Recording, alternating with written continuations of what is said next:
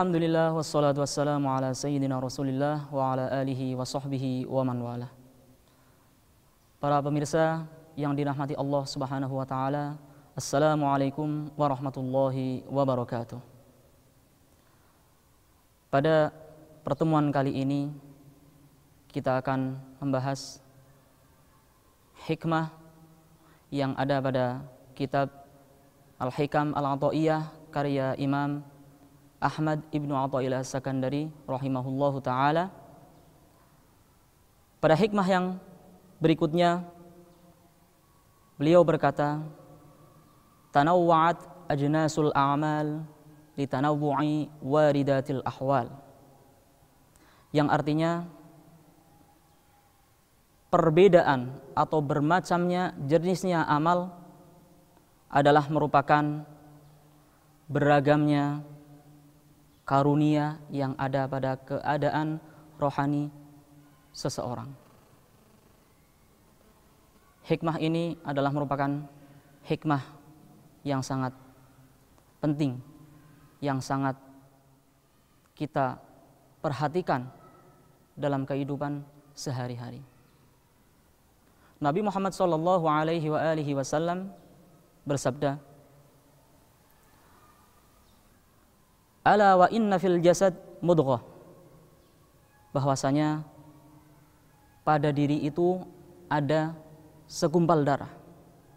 Wa idza saluhat saluhal jasadu kullu. Di mana tatkala segumpal darah ini baik maka jiwa ini pun akan menjadi baik. Wa idza fasadat fasadal jasadu kullu tatkala gumpalan darah ini adalah tidak baik, maka seluruh jiwa ini pun akan menjadi tidak baik. Ala wahya al-qalb. Yaitu apa? Adalah hati. Hati. Imam Ibnu Athaillah Sakandari mengatakan bahwasanya amal ini sangat beragam. Ada sholat malam, ada sabar, ada berpuasa, ada berhaji, ada sodako, atau amal-amal yang lain. Di mana amal ini, bermacamnya amal ini, amal ibadah ini adalah tidak lain dipengaruhi oleh sebuah keadaan hati. Tatkala hati itu mengetahui tentang keutamaan sholat malam, maka raga ini akan digerakkan untuk menjalankan sholat malam.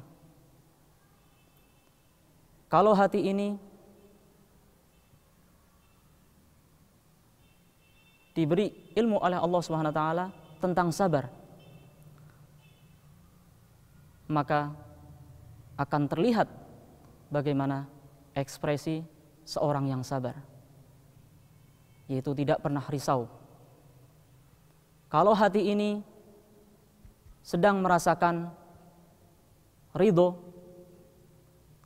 maka akan nampak pula pada jiwa kita tentang keridoan tersebut.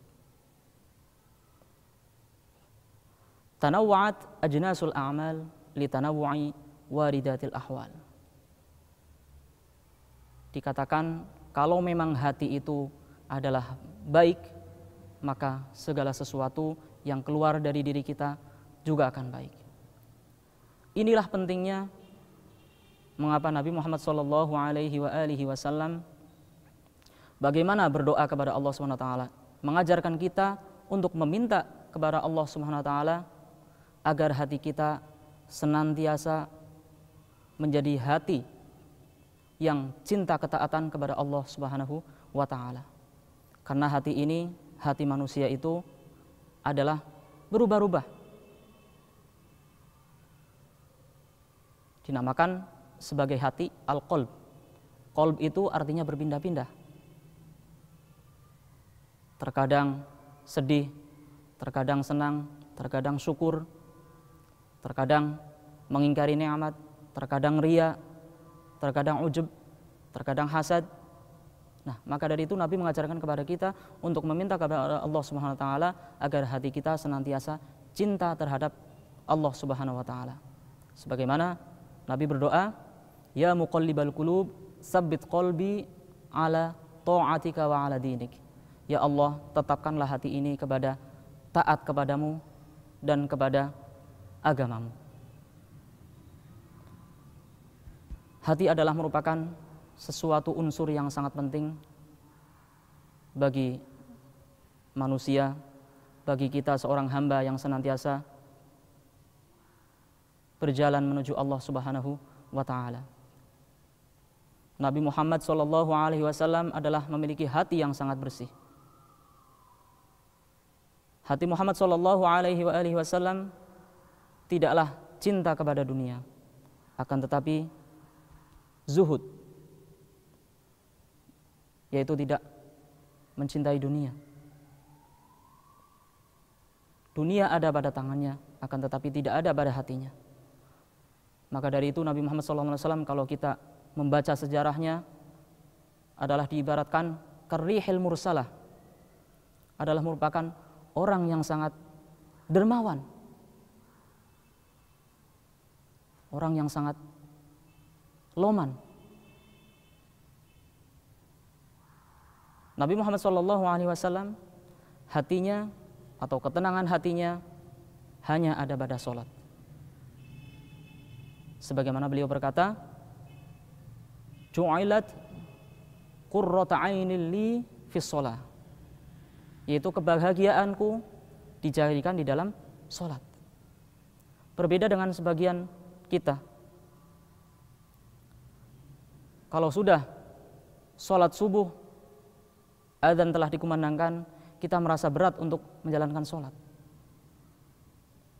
Ini adalah perbedaan kita. Makanya kita harus senantiasa berdoa kepada Allah SWT, Ya muqallibal qulub, sabbit qalbi ala ta'atika wa ala dinik. Sayyidina Muhammad sallallahu alaihi wasallam senantiasa bahagia tatkala datang waktu sholat. Setelah capai berjihad, setelah capai mengajarkan umatnya. Setelah capek mengajak umatnya untuk masuk Islam. Nabi senantiasa sholat. Sampai berkata kepada Sayyidina Bilal arih nabiha ya Bilal. Artinya apa? Rehatkanlah istirahatkanlah aku dengan sholat. Nah, kalau kita melihat Nabi Muhammad SAW dari amal berpindah kepada amal yang lain, berpindah kepada amal yang lain. Itu senantiasa mengisi hari-harinya dengan sebuah amal soleh. Ini adalah merupakan sesuatu yang harus kita laksanakan sebagaimana Nabi Muhammad Wasallam melaksanakan. Karena Nabi Muhammad Wasallam adalah merupakan uswah, yaitu contoh yang baik bagi kita sebagai umatnya. Tanawwa'at ajnasul a'mal li tanawwu'i waridati al-ahwal. Kita hendaknya senantiasa menjadikan kebahagiaan kita yang ada dalam hati kita adalah dengan ketaatan kepada Allah Subhanahu wa taala. Kita merasa bahagia bukan karena kita dekat dengan fulan misalkan karena dia adalah kaya atau karena kita dekat dengan seorang pejabat atau kita dekat dengan seorang yang memiliki pengaruh terhadap masyarakat atau kita dekat dengan seorang tokoh. Akan tetapi kebahagiaan kita adalah tatkala kita taat kepada Allah Subhanahu wa taala. Nabi Muhammad sallallahu alaihi wasallam ju'ilat qurrata ainil li fi shalah. Adapun Sayyidina Ali karramallahu wajhah berkata, Al-mu'anasah bin nas min alamatil iflas. Yaitu merasa tenang tatkala bersama manusia adalah merupakan tanda dari sebuah kerugian.